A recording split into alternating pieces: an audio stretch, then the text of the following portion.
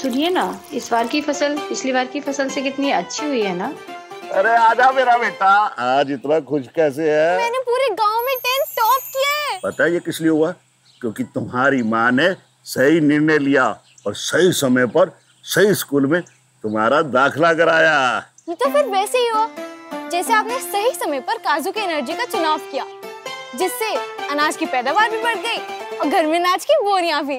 काजू की energy? UPT technique से बनी लिक्विड जैविक खाद है, जो फ़सलों की गुणवत्ता और पैदावार को बढ़ाता है।